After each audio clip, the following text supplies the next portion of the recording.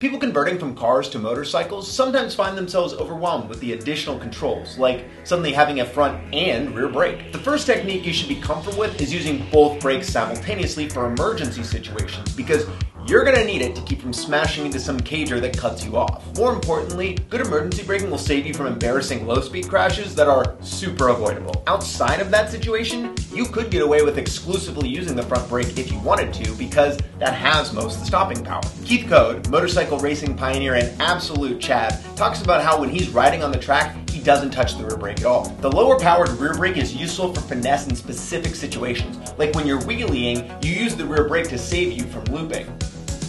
I mean, I don't. I fucking suck. So it's also nice when you don't want to use your hands to brake, like when you're following some slow ass car down a hill, or chilling out, relaxing at a stoplight, and want to keep the bike from rolling. Ultimately, which brake is used in any given situation is far less important than the way it's used.